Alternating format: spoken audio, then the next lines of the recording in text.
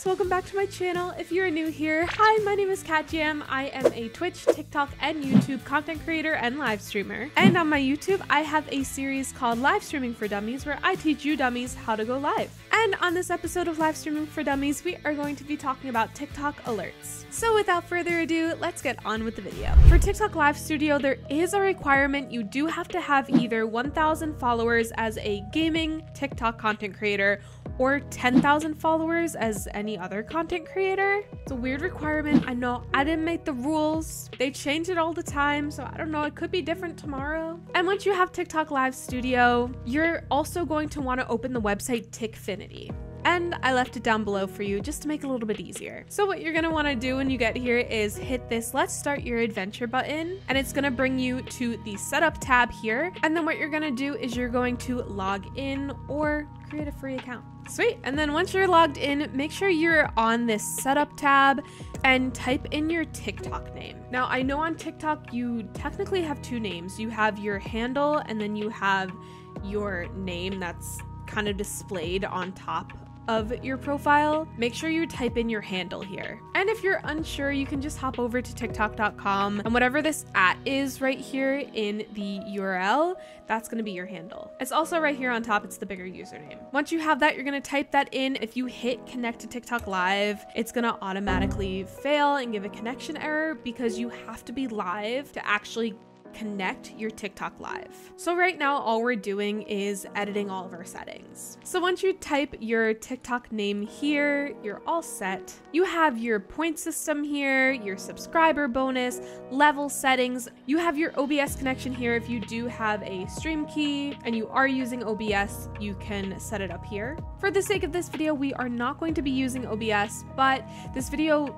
still will be helpful if you are going to be using OBS. There is a streamer.bot connection, a Minecraft connection, resetting all of the points, and then TikFinity Pro. It's $15 a month. You can create unlimited actions, events, and sound alerts. There's a Discord role, and just a bunch of features that you may not be getting when you have a free account. I personally don't really touch this setup tab unless I am putting in my TikTok name and connecting to the actual TikTok live. Next tab here, we have our overlay gallery. This one is actually pretty fun. So you have a Emotify here. Every time a viewer sends an emoji or a subscriber emotes, these emojis will slide across the stream. This is only for TikFinity Pro members, so I don't personally use it, but if you have TikFinity Pro, it could be a cool, fun feature to use. You also have the chat here. Again, you can display the chat of your TikTok stream onto the screen. I wouldn't suggest this feature because if you're on TikTok as a user,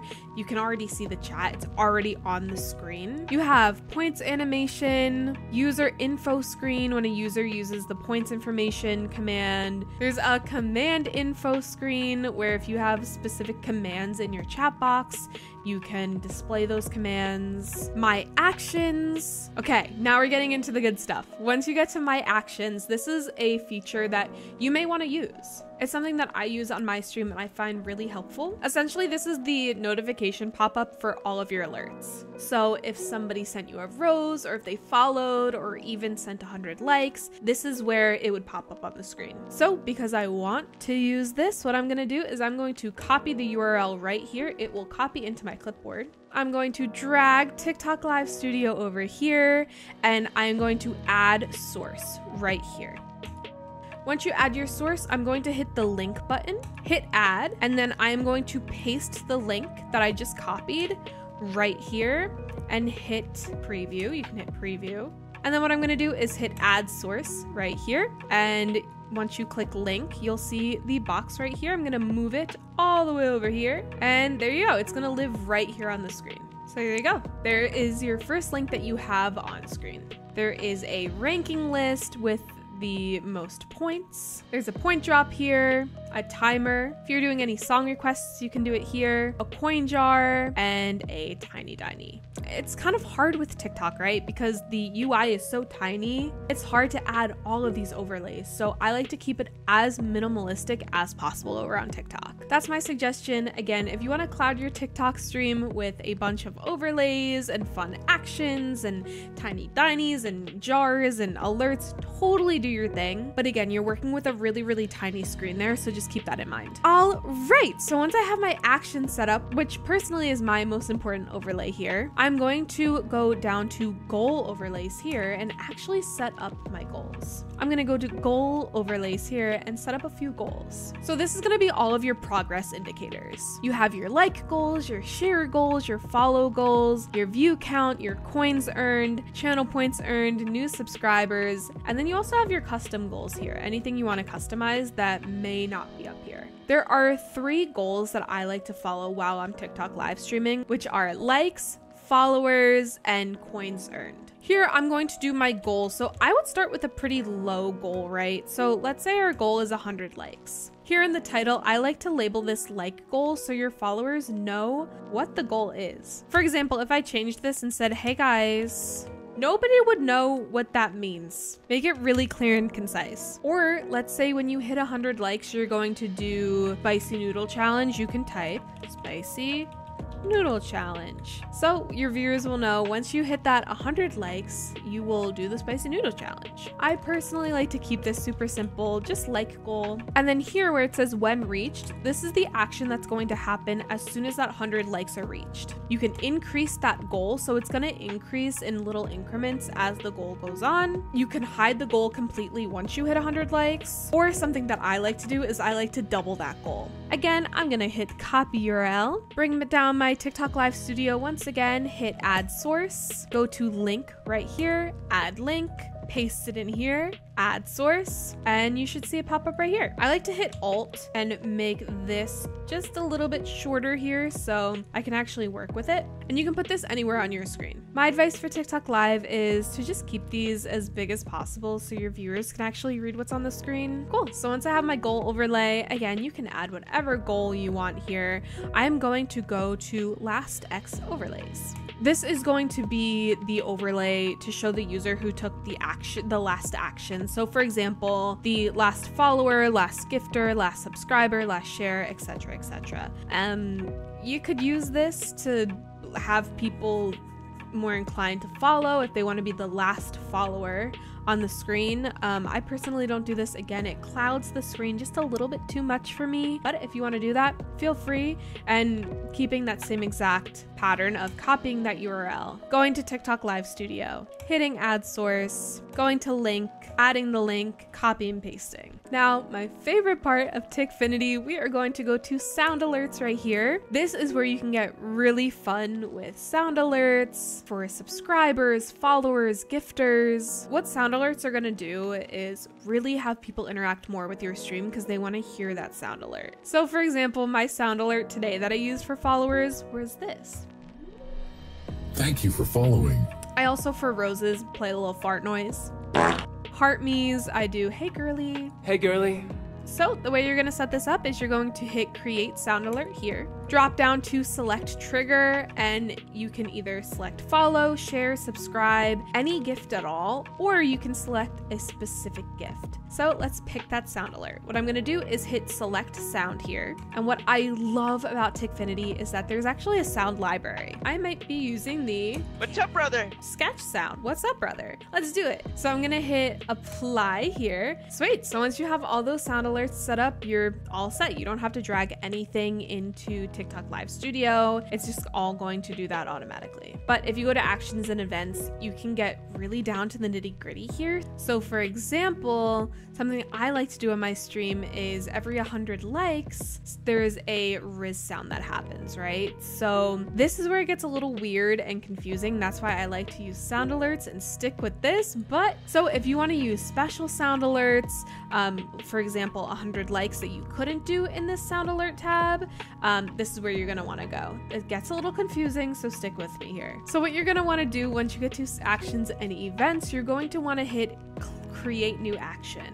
So the name of the action, I'm going to name this liking stream 100 times. So what's gonna happen here? Every time somebody likes my stream 100 times, I can either show an animation, show a picture, play an audio, play video file, show alert, etc etc here what i want to happen is to play an audio. So i hit play audio and open sound library and i want to listen to this. What is this? Spongebob fail there's that this. So let's go with that. I want this Vine boom to sound. So I'm to hit apply. Duration sound. I like to do like three seconds here. So it's super short. Should the trigger user receive a reward? No, they don't have to do anything. This is optional. And then the media sound volume, make this to your liking. I like to do just a little bit quieter. And I don't have any global cooldown. I'll enable fade in and I'll keep all these settings as is and hit save. Now let's say I was like, oh, you know what? I want that Vine Boom sound to happen, but I also want their picture to pop up on screen. What you can do is just hit this little pencil button right here and it'll bring you back here and then you can just tap show alert user in text and then you can type something for example thanks for the 100 likes and then hit save so now it's going to play that sound and show text that says thanks for the 100 likes with their username that pops up. Next thing you're gonna do, and you want to do this with every single action that you make, you want an event to happen. So this is where you're going to define what triggers your action. So I hit create new event, stick to everybody, and then I'm gonna hit sending likes taps. And because we did 100 likes, I'm gonna type in 100 here. And then down where it says trigger all of these actions, I'm going to click that drop down that we just created, liking stream 100 times, and hit save. Cool. And then once you have your actions and events set up, what you're gonna wanna do is come down to this overlay screen settings tab, and you're going to wanna hit the screen one link. You're gonna copy that, bring TikTok Live Studio back down, hit add source, link, add, copy and paste, and add your source. And that's pretty much all that I have on my TikTok stream. I keep it super simple, but if you want to add some more things, I do have more options. For example, you can do a help command, points information, points transfer, wheel of fortune, or even point drop. I don't use points on my TikTok streams. There's also custom commands that you can build in. There's also a chat box that you can use. I personally don't use this. There's text to speech that could be really fun. All of your subscribers can have text to speech each. Again, here are your users and the points that they've had. There's also transactions that you could see. Here's that timer tab yet again if you want to use a timer on your stream. The Wheel of Fortune. I believe this is a wheel that you can use like a command and your viewers can spin the wheel and they might like win something or get something or you have to do something. And then again, point drops. I don't use the points personally. I really, really use TikFinity just for the sound alerts and overlays. And I keep it really simple. So once you have everything that you want in your TikTok live studio, something that I like to do personally, which has fixed a few issues for me, is I like to go to ad source and I still like to keep this live alert widget here later and because I'm using those sounds on TikFinity, I like to either delete any sound alerts here or just like zero them in all of the sounds here, just in case. Hit add source. And for the alert, I would just drag it up right here so I could see where they go. And if there's like any issues with TikFinity, it still pops up. It's all good. It's just something that I like to personally do. There might be like a different way to do that, but this is how I like to do it. It's the easiest for me. It takes the least amount of time and I find the least amount of issues on my stream when I do that. And the most important thing you need to remember when you're using TikFinity is to click start and every single time you stream on TikTok Live, you're gonna wanna have TikFinity open. This website, you need to have this open. So save it, star it, maybe put it on your stream deck. You always wanna have it open before you go live. That is the most important thing here. And once you hit go live on TikTok Live Studio or OBS, you're going to hit connect to TikTok Live. That's how your alerts are going to transfer over to your OBS or TikTok Live Studio. And every single time you stream, you have to hit connect to TikTok Live. There have been times where people in my chat will be like, why aren't the alerts working? I just sent 100 likes. It's because I didn't have TikFinity open or set up. So make sure that you do that. It You need to get into the habit of doing that or else your alerts won't work. I hope this video helped. I know TikFinity can be very confusing. It's still pretty confusing for me too. So it's just something that you have to play around with and get used to. So if you're using TikFinity and you have some fun alerts, or if it made your TikTok live stream more fun and interactive, please let me know how so in the comments below. I would love to know. As always, thank you guys so much for watching this video. I very much appreciate it. I am on the road to a thousand subscribers and we are kind of close. So I would very much appreciate it if you were to subscribe. If you want to follow me, all my socials are below. And I can't wait to see what you guys do with all your streams. I'll see you in my next video. Bye!